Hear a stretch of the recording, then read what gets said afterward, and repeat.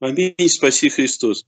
Игнатий Тихонович, вот мы прочитали сейчас э, текст, и здесь описывается, что даже в то время, в то время э, в церкви были разного люди, э, которые э, какому-то течению были. А почему, почему, как же так получилось, что их там терпели в это время? Неужели там, кто там, как пишет ангел, кто там ответственный, старший, терпел это все, как и сейчас терпит? Нигде не говорится, что терпели. Но раз говорится, что именно есть. Имея против тебя немного, видите, какие слова, не все такие были. И сегодня то же самое. Почему? А Господь наградил человека одним даром, через который он погибает. Свобода. Ничего страшнее подарка нету. Если бы было заряжено, как вот ангел, они не могут согрешить. Их не тянет. Рожденный от Бога не грешит, не может грешить. А в церкви люди считают, я христианин, тут же говорится, что это пустой звук, как Златоуст вводящий в заблуждение, который ничего не значит сегодня. Я христианин, стоит, курит, все грехи человек насобирает на себя. Я христианин. А как бороться с этим? Только так. Беседовать, говорить, открывать веру от слышания. А вот здесь уже надо посмотреть. На 100 грешников, которые отступили, и в церкви сколько проповедников? Ни одного. Вот и ответ. Начинайте, и увидите, что у вас получится. Будут они вас слушать или не будут обстановка, как будто мы опустились в тот век, о котором описывается. А так проще всего, говорю. Вот я сейчас скажу, ну, допустим, мы интернетное сообщество, и сколько правила составили, все, и все равно нарушают. Полгода помолчать, поучиться, чтобы потом можно было задать вопросы. Не тут-то было. С первого дня уже сразу начинает. Он еще не вложил сюда, а бывает со злым намерением, чтобы других увести. А человек легко слушает, а вон как, а я-то думал, и до свидания. Вот сегодня как раз мы должны сказать, мы в том веке, находимся с ними, и что бы мы делали? А теперь эту кальку наложить на себя на сегодня, да обстановка та же самая. Такие же люди и блудят, и воруют, и лгут друг на друга, и домашние враги его, брат на брата, народ на народ, царство на царство. Все это как будто вчера было только. Оно сегодня идет. Выбрали царя себе, а царь забирает юношей и отправляет умирать, и там даже не хоронят, некогда хоронить. Обстановка та же самая. Поэтому тех людей мы можем понять, если понимаем, что здесь я ничего еще не сделал.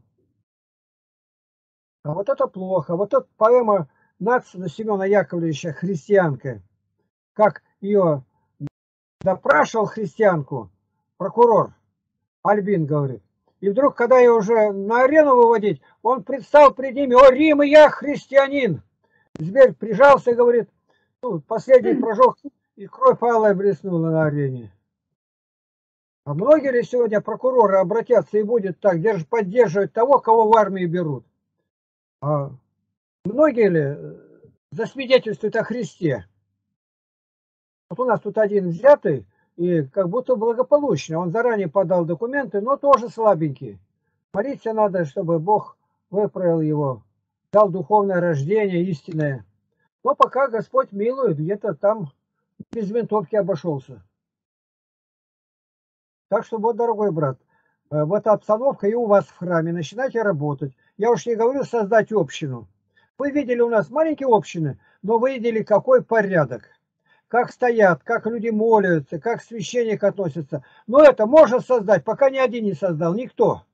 Вот вы сейчас все вместе договоритесь, но не в одном месте живете. И чтобы был священник. Я заранее могу сказать, что это очень непросто. А вот если вместе мы дособираемся и людей приглашаем, вот я когда вел занятия в университете, тут самое большое было река к нам текла. За один год сразу 26 человек крещение приняли. А где они теперь? Кто-то переехал, кто-то женился, уехал, замуж вышел, кто-то умер, а кто-то в секты подался. Из 26, может, два и осталось. Вот так. Спаси Христос, Игнатий Тихонович. Да. Игнатий Тихонович, можно вопрос? Да, конечно, можно. Я вот своей подруге начала бл- благовествовать, своей близкой подруге. И она какое-то время слушала, а потом она говорит, ты мне рассказываешь про какого-то Христа, к которому очень сложно прийти, подойти. Христос не такой, он только любовь, он у меня в душе.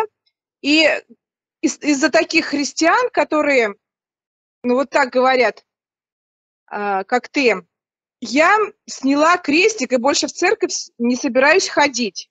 Ты сначала изучи все Евангелие полностью, а потом проповедуй. Вот она меня обвиняет, что она теперь с этим совсем, ну, я виновата в том, что она теперь больше не будет ходить в храм. И как мне теперь к этому относиться? Никак. Во-первых, они не ходят, потому что нет веры. А вы причем, вы говорили, делали правильно. А она лишь бы зацепиться из себя этот груз, что она виновна, сбросила на другого. Ну, придет время, когда глаза закроются, и ты увидишь, каждый отвечает сам за себя. Мы говорили ей, она не хотела идти путем Христом. И Христос она начинает не такой. И надо говорить, когда все узнаешь. Этого нету. Если с тобой Христос был три часа, как с бесноватым, и говорит, иди домой, домашнего возвести, а он пошел по всему городу говорить. Бесноватый, вообще он ничего не знает, как будто родился. И то не семинарию кончать, а иди и говори. Вот что нужно делать. Вы сделали все абсолютно правильно. Так что молитесь и благодарите Бога, что вас Бог вразумил на это. А она должна была отойти. Ну еще, это людей много. Кто-то примет, кто-то нет. А иные, говорит, побили их, говорит, голову пробили, когда за виноградом пришли. Христос такие притчи говорил. Послал сына, они и сына убили. А он думал, что устыдятся, начнут отдавать дары, которые выросли. Нет. Тогда вот поймете, как быть христианином у нас совсем нелегко. У меня стихотворение такое есть.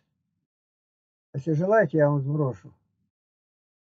Хорошо. Ну а как мне теперь вот с ней общаться вообще? Она все постоянно на меня вину теперь начинает перекладывать, что я виновата во всем, вообще во всем.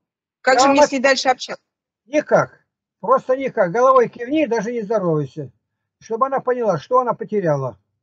Она потеряла самый драгоценный живой источник, свидетельствующий любви Божией. Не переживайте ни грамма. Только молитесь дома и все. Мгм. Если она будет Спасибо, говорить, скажи, это написано такое, что едущий мой хлеб поднял на меня пету. Там 46-й псалом. И все. Когда она по-настоящему будет, скажет, тогда по-новому будем знакомиться. Я христианка. И сразу ей говори. Ни грамма и не ходи к ней, и не разговаривай. Чтобы она поняла. После первого-второго разумления он говорит, отойди. Они самоосуждены, как еретики. Все, поняла. Игнатий Тихонович, Да. а вы рассказывали, что вы когда сидели, и с вами сидел человек, и вы там, ну, Библию читали, но он что-то сказал там против Библии, и вы закрыли навсегда и больше уже ни разу ему ничего не говорили. Расскажите про этот случай. Это было в Барнауле, СИЗО, 18 дробь 1, канатная 81, где находится.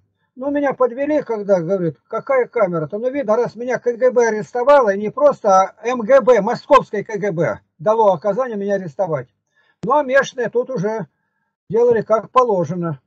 И они, вот, вот он ведет меня, ну, куда тебя девать-то здесь? Я говорю, да где-то бока меньше. Кто ж так разговаривает, тебя сунут туда, не слушаешь пресс-хата, тебя изнасилуют там. Здесь нет. Куриновский Владимир Александрович, замполит, ведет меня. Так, вот это вот камера. Так, дежурный, подойди, кто у тебя здесь? Посмотрел, она пустая. Да здесь один директор Мамонтовского района, главный рыбак Алтайского края, у которого космонавты, первые секретари, там все были. К нему рефрижераторы шли с Дальнего Востока, с Прибалтики. Настоящий работник. Это я про то время говорю. И вот он теперь арестованный сидит. Ну, говорит, ему тут хорошо будет. Один много там не намешает. Я вот с ним был. А потом к нам подсадили преподаватель аэродинамики второго набора космонавтов из Москвы. Лозин Анатолий Максимович. Нашу камеру назвали камера академиков. Ну, я говорил, свидетельствовал, а он что-то сказал. Владимир Митрофанович Сивер, это директор Мамонтовского рыбокомбината. Я говорю, вы будете жалеть об этом, я больше вам говорить не буду. Да и не нужно. День проходит, а у нас скукота, ему 14 лет просит директор. Этот, прокурор краевой там видно. Ну и все, потом он давай просить, да ладно, я, я уже больше уста не открыл. Кому-то я буду говорить, говорить так, чтобы вы едва слышали. Ему был это сильный удар. И когда он освободился, а мы за него ходатайствовали, я первый пришел домой. С женой его, Нина Ивановна, познакомился. Я говорю, а как мы с вами познакомились? Как? Я лежала в реанимации, в больнице, и вас запустили. Я лежала без памяти, глаза открыл, и гляжу, возле меня что-то такое волосатое, с бородой, муж-то безбородый-то.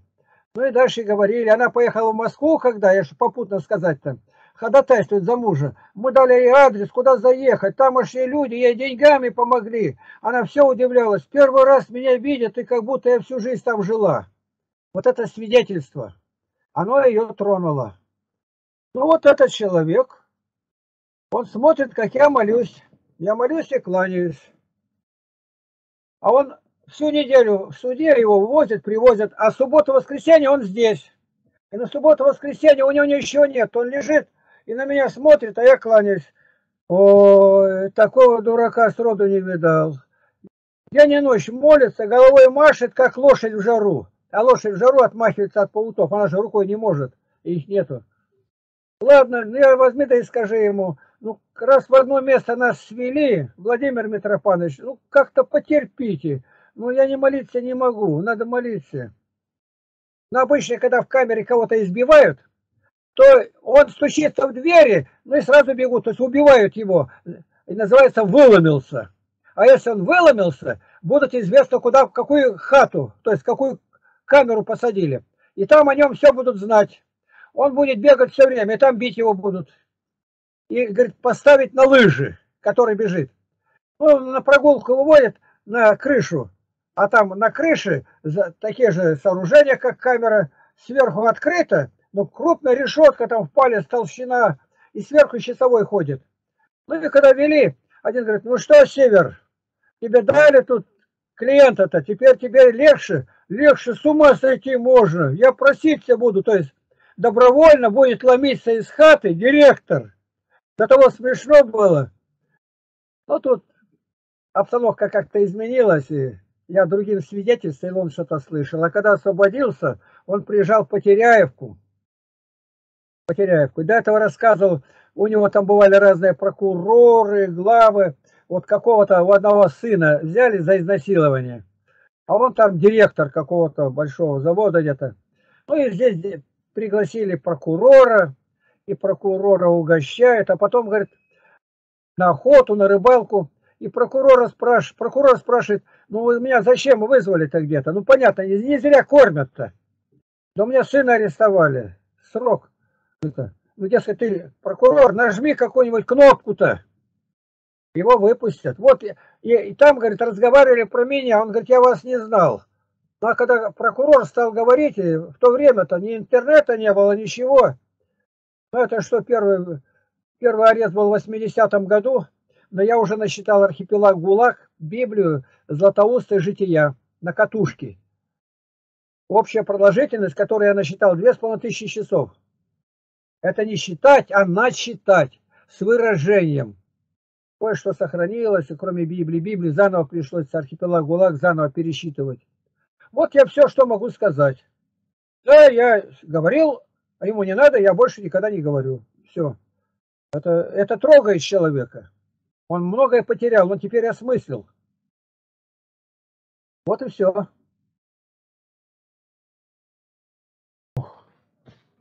Игнатий Тихонович, мир вам. Вопрос такой. Есть человек, у него э, мать с отцом, отец наркоман бывший, ну, сейчас очень сильно пьет, мать тоже пьет. Он в храм ходит, ну, посещает храм, э, и стремится к Богу. А они ему звонят и постоянно его ну, искушают на то, что убьют себя, повешиваются там. Вот. И там маленький у него, ну, один брат, ему 10 лет, они говорят, вот он будет на тебе, то есть он не может трубки эти не брать.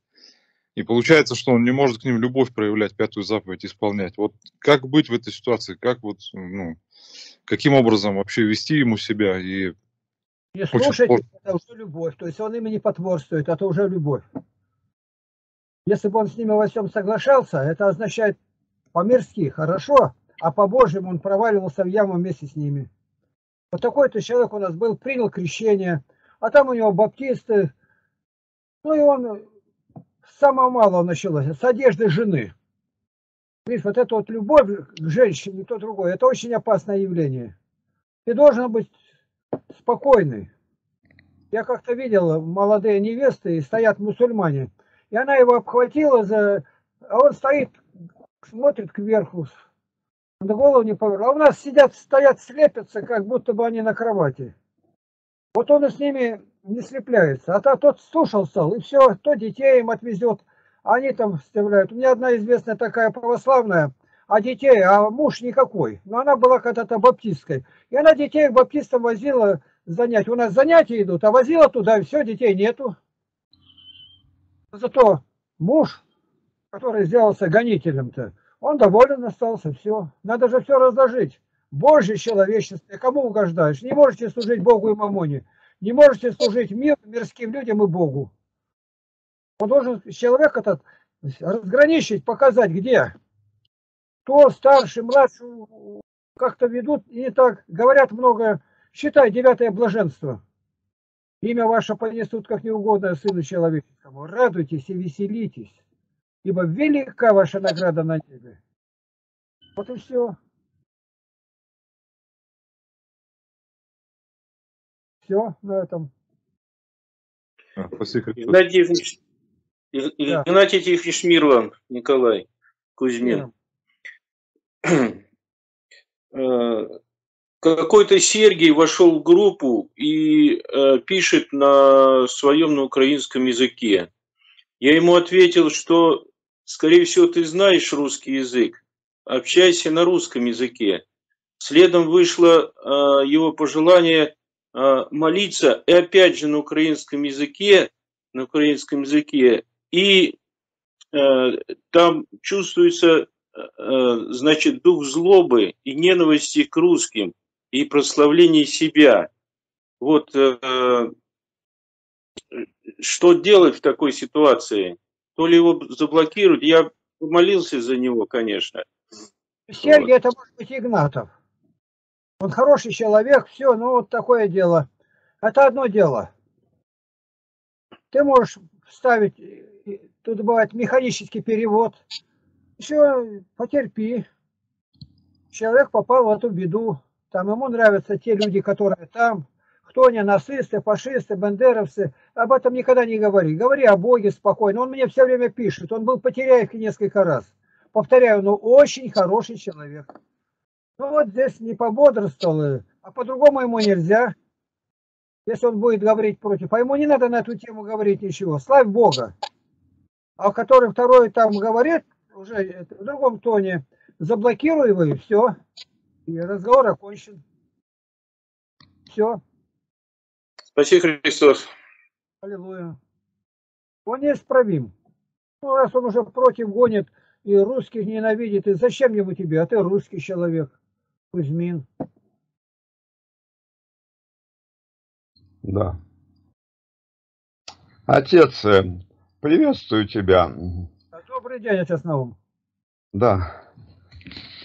Вот у меня вопрос. Я там готовил э, беседу с иговистами, и вот у нас такая беседа была. И вот я э, здесь Э, ну, такое, значит, зачитаю это место Писания.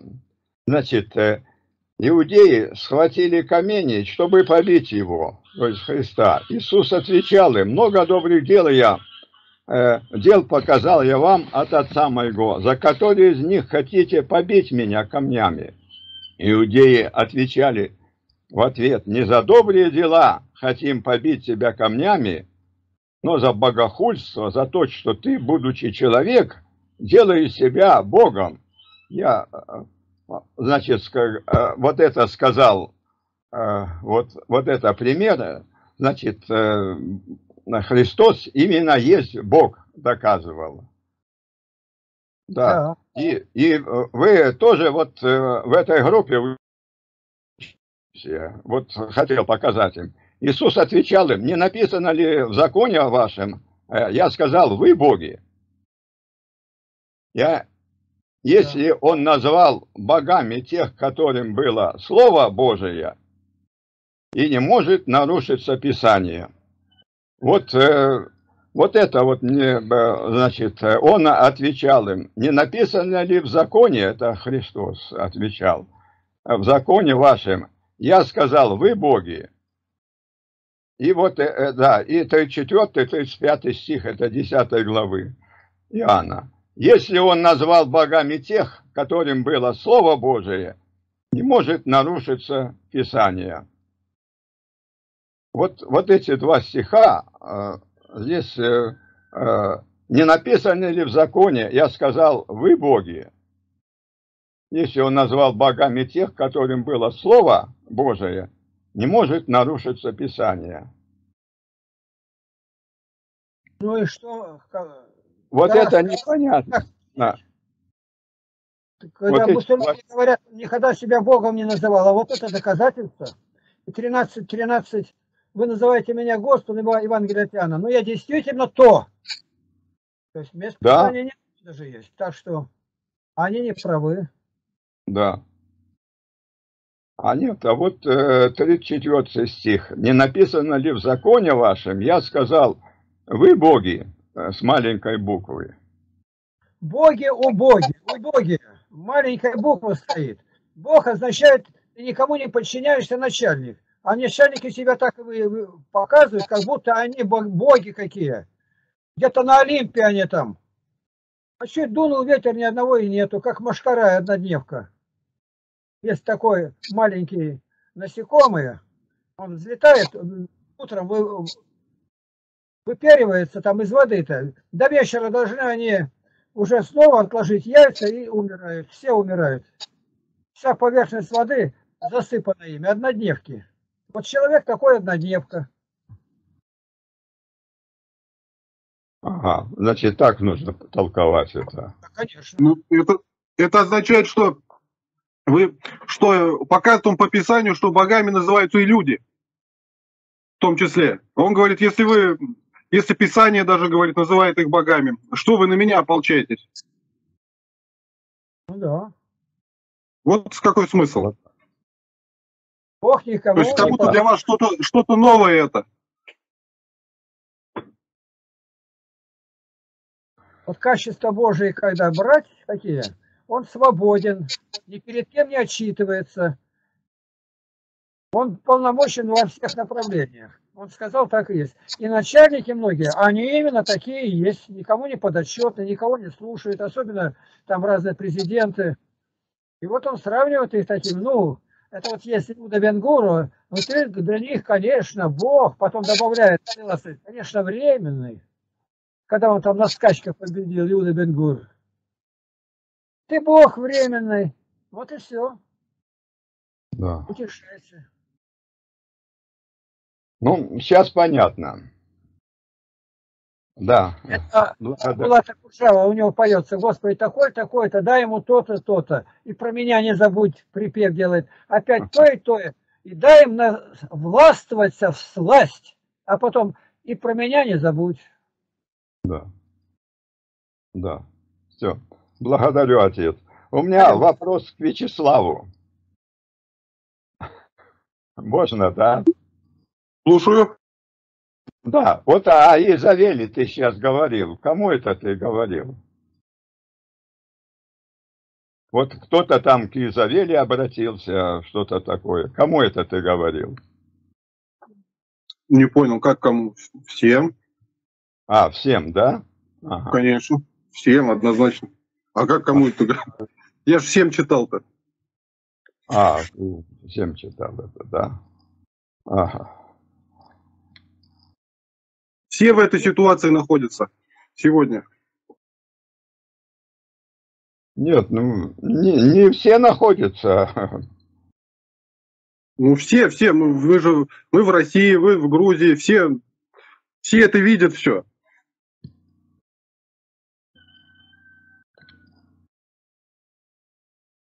Так, Видят, что вопрос. идет прелюбодеяние с миром у у многих-многих людей.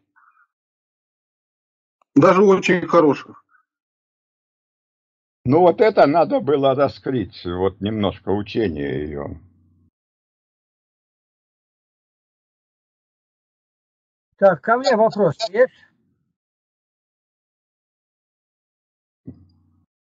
А то я отойду. У меня тут много наплыв людей, которым отвечать надо. Да. Ну, За все благодарите написано, за все. Особенно за то, когда вас гонят, когда поносят, когда перекидывают с места на место, с работы выгоняют. Велика ваша награда на небесах. Это люди, которые плетут тебе царский венок на голову. О, Так, ну все тогда, отошел. Благодарю всех. Так, это, Вячеслав, ты объяви о Фаурта, что у вас есть счет у- на гладущую Елену? Объявлю, объявлю. А счет Еленин знаете? Хорошо, хорошо. Ну, я спрашиваю, Е- Елена Гладущук счет, на который можно посылать, у вас есть? Ну, конечно, есть.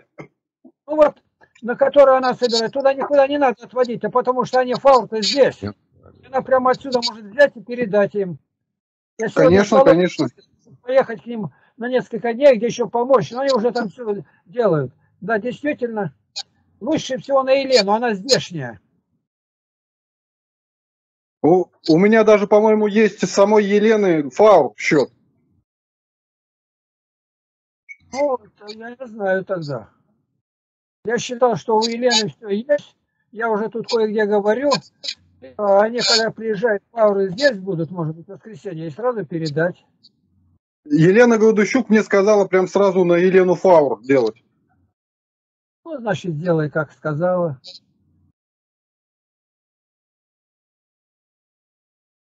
Игнатий Тихонович, Чернышка выздоровела? Выздоровела. Она находится у нас под, в трапезной, в подполе, с белым вместе. А Паля с этой чернявкой моей у нас вот рядом она здесь.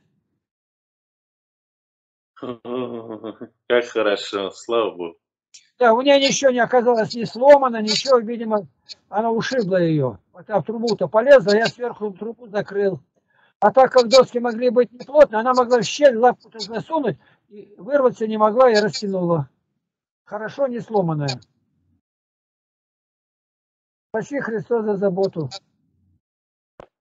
Слава Христу, аллилуйя.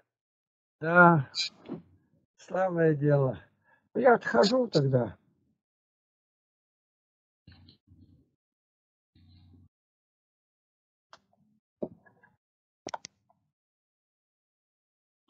Так, никого нет. Да, это, видимо, лучшее время было а, Геннадия Фаста, когда он отписал эти комментарии. Да. Сначала положил он в моей комнате. Я ему задание дал, ушел на работу.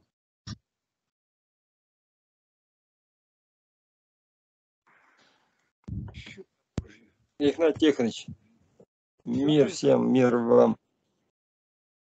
Слышите, Слышу, говорите. я даже там в храме был, и, ну, ребята уже, у женщины большие. Почему вы детей своих заставляете, ну, там мы Библию, это, Евангелие читали около храма. А почему вы, говорит, заставляете их, ну, ве- ну, веровать, скажем так? Вот скажите, она, они, а я говорю, а вы почему своих не заставляете учить Библию? Они у вас бегают туда-сюда. Вот скажите таким людям, что ответить, которые говорят следующее, что они когда вырастут, они сами изберут свой путь. Хотя они каждое воскресенье их вводят в храм, они причащаются. Надо это конкретно уже знать, что человеку нуждается. Сказать, что Господь будет судить по слову своему. Евангелие от Иоанна 12.48. И все, значит, отсюда. Без любви ни один не войдет, а любовь доказывается исполнением заповедей. Господь говорит, любите меня, соблюдите мои заповеди. Они даже не считают. Они считают, зато говорят, вы не знаете их. А не зная, вы нарушаете. А нарушая, вы погибаете. И все от того, что не считаете. Несколько вот таких моментов покажите, и, глядишь, может сдвинется. Мы тоже выходили, когда из храма, ну не в ограде, а подальше, маленечко тут, несколько шагов. И тогда говорили, находились новые души.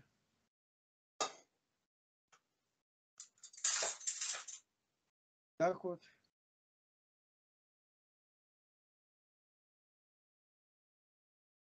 Все, больше никого нет, отхожу.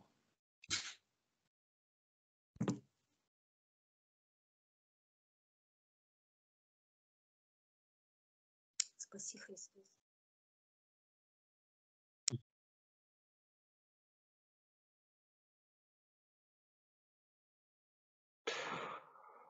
Игнатий Тихонович, а вот тут я сейчас прочитал, да, что мы прочитали, что Евангелие от Иоанна было написано после апокалипсиса. У нас есть основания так считать какие-то?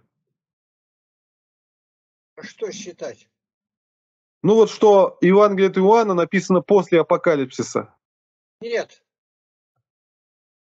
Это Я тоже так считаю. Может быть, во втором веке в начале. Так, такое может быть. Он умер во втором веке. А Евангелие написал после смерти Христа 35 лет. Добавьте 33, 35, 68. В 68 году. Это лет на 30 раньше. Да, да, да. Я тоже так думал. Я помню, что 35 лет, а тут написано после. Ну, понятно. Это ни, ни на что не влияет. Ну, просто знаем это оттуда, где известно.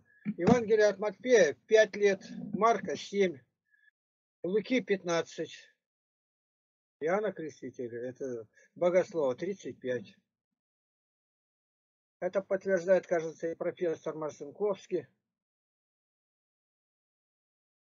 Так. Здесь такое человеческое рассуждение было, что якобы он сначала было ему показано, а потом он написал, что Бога не видел никто никогда. Но это, если Духом Святым написано, как мы верим, то как можно это сюда прикладывать? Никак. Он был на острове и в это время там писал. Чего бы он откладывал-то? Мы через... Я вот веду дневники, дневники веду, ну, я не знаю сколько лет, ну больше, чем 70 лет и в тюрьме, и в больнице. У меня дневник непрерывно идет.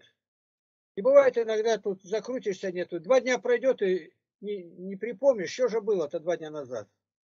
Как бы где-то что-то такое, а то идет каждый день почти одинаково. А были именно при... а, приезжали такие-то, оттуда-то, вот оттуда, вон что. А то вспомнил, да, у меня в этот день первый раз такое было, и надо написать и показать.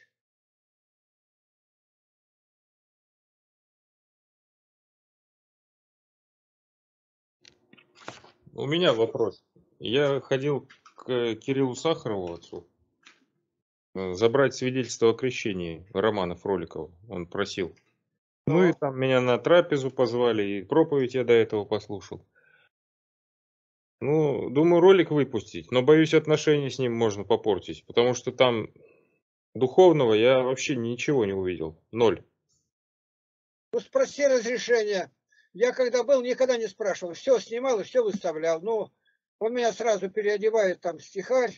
И там, ну, видели, я храме у него проповедую. Был один раз, готовился к проповеди. Как, я сижу, не пишу, а мысленно. Ну и перед самым богослужением решил вокруг храма обойти. И гляжу, там такая, как маленькая стела стоит. Я прочитал ее, стал на колени. У меня сразу же другая проповедь пришла.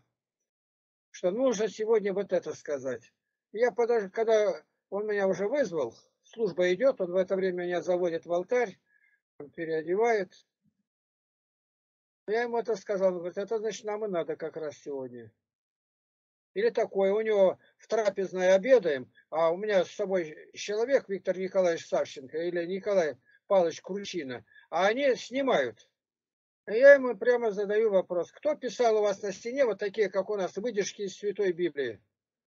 Ну, напечатали кто-то. Я говорю, смотрите, семь есть, и ни одной без ошибки нету. На семи местах у вас выставлено, и везде ошибки. Я не сравнил с Библией, я на память сравниваю. Он сразу же про это сказал. Вот видите, как еще люди. А мы, мы написали, сами не замещаем даже. Самое интересное, что я две ошибки нашел. Сегодня, вот, когда был. Ну, не сегодня, там, на выходных. Может быть, он переменил. Но дело в том, что когда познакомились, где-то Донской, кажется, монастырь был, и он где-то там под колокольней людей собрали-то. Мы когда говорили, а я возьми и скажи, сколько собралось? 12. Я говорю, один из вас предаст меня. А что такое? Я не знаю, говорю, сказал и все. Ну и так и получилось. А у него все люди проверенные оказались. Я стою молюсь, когда утром шла литургия. В это время подходит маленький такой человек, он, кажется, священник. И он мне говорит, это вы вчера там были под колокольней, такое говорили. Я вот так пальцы показал, что разговаривать нельзя. Я не знаю, кто, но это то ли настоятель или кто. Он мне потом сказал, он, чтобы больше этого не было. Прям прошипел вот так на меня, чтобы мне больше не было. Я когда сказал отцу, это, Кириллу-то, он говорит, да не может быть. Он такой спокойный, этот человек такой хороший. А я сказал такое, вы на кладбище, а там бетонные сделаны сверху, как саркофаги, и надписи на чугунных плитах, кто умер, и крест. И они их сняли, и пол заселили в храме, и по нему ходят по кресту. А это, это правило из каноническое. И я сказал людям, а а если это настоятель, он-то выходит, я там из-под колокольни его ткнул. Как же вы по крестам топчетесь-то? И он мне подошел, и вот это вот прямо-таки, я отсюда сказал Кирилл, он не поверил даже. И думаю так, как так так? Ну, говорю, как? Я как? Что вы никогда не знали, что на крестах топтаться нельзя. Вы же не Киркоровы сегодняшними, если терминами пользоваться-то. Ну, вот такое дело. Я в них выступаю, а другой снимает. Мы все снимали везде. И никогда не спрашивали. Еще ради спрашивать, вам это не принадлежит. Храм Божий, ты Божий, я Божий. А у кого спрашивать? Я у Бога спрашиваю, и Господь мне не запрещает. Вот как э, эти в детский лагерь были, а вы, у вас есть разрешение купаться? Я говорю, как? Пруд Божий, вода Божья, дети Божьи, я Божий. У кого спрашивать? Я у Бога спрашиваю. Они не знают, что отвечать. Радуйтесь и веселитесь, ибо велика ваша награда на небесах. Я сегодня рассказываю, на меня два дня особые нападки. Люди, которые знают, как на меня нападает под терминами СД.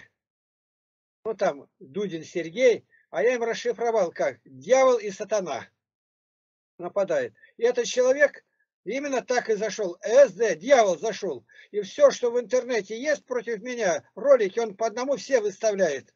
Самых поганых все забирает. А я ничего не... Один раз только выставил в Википедии Игнатий Лапкин. И больше не стал ничего. А вот Николай Астахов-то делал, когда там спас готовили против меня и составили вместе-то. Обратились, они же не поставили, а Дворкин все равно не напал в следующий раз. А, им, а, а они отрабатывают СД дьяволу. У них и молитвы нету. И вот здесь точно так же. Второй, ролик за роликом. Мои структуры, там, где есть ресурсы, они их переделывают и под моим именем ставят.